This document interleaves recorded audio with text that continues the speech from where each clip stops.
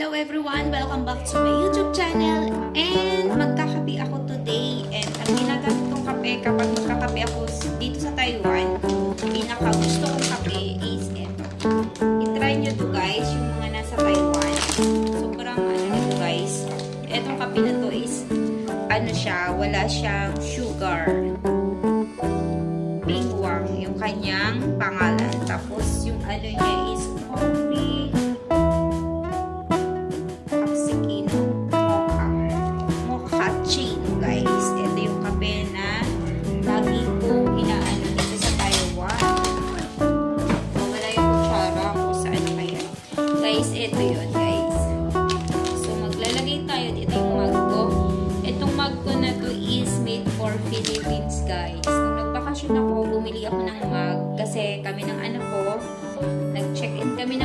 kami dalawa ng anak ko, tapos wala akong dalang mug. So, nag-SM kami, bumili kami ng mug. Ito. Tapos yung, sa, yung dalawa, dinala ko dito sa Taiwan, and yung dalawa naman, iniwan ko sa Pinas. Ayan, guys. Yung mug. Made for Philippines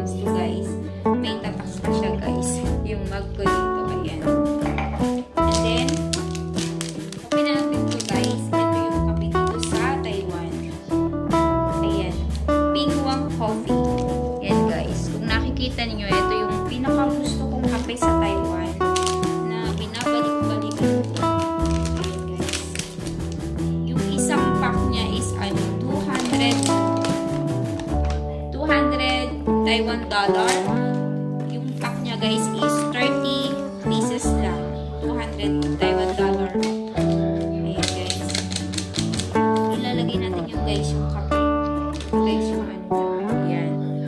Para siyang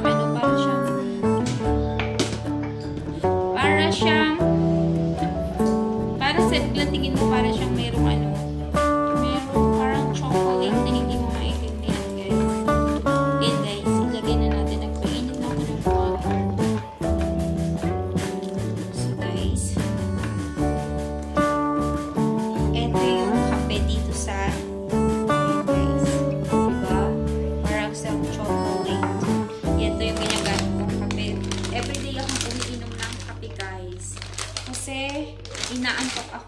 hindi ako nakakapagkape, inaantok ako. Kasi, ayan.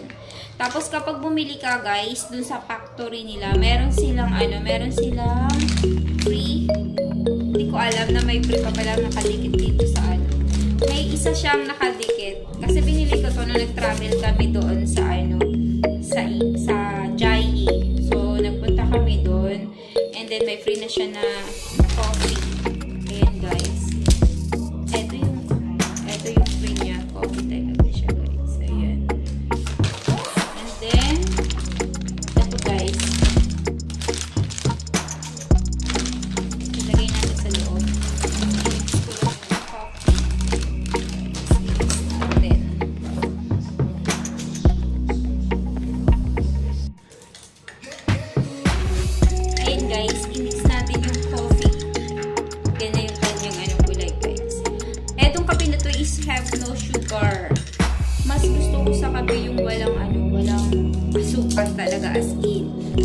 3-in-1. Bumibili ako dito sa PX Mart ng, ano, ng coffee na 3-in-1.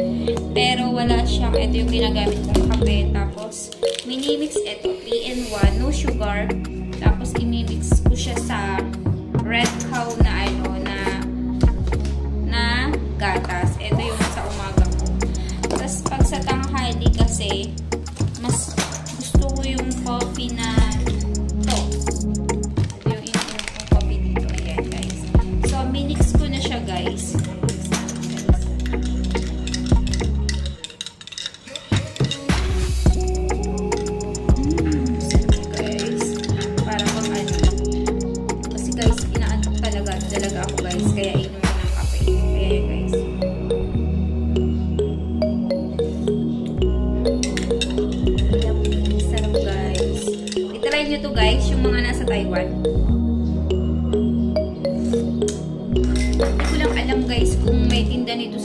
sa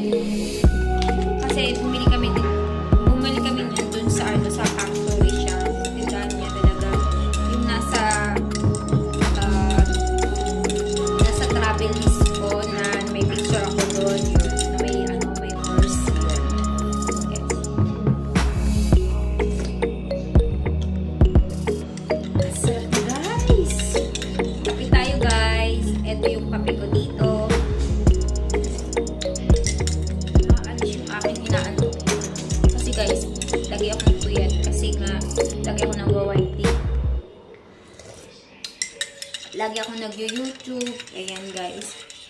Kapag ayaw mong matulog, kailangan mong uminom ng kape. Ayan guys. Ayan. Pag kayo nandito sa Taiwan, itry nyo to guys. Masarap siya guys. Ayan. Pero yung iba sa kape, gusto nila maraming sugar.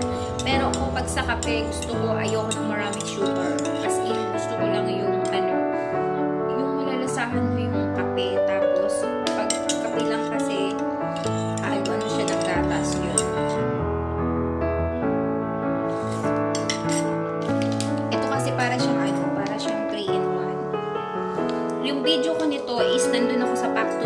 dati? Oo na, may video ako nito sa YouTube ko, sa YouTube channel ko, guys, na umiinom ako ng libreng kape. Yung mga size ng kape nandun lahat,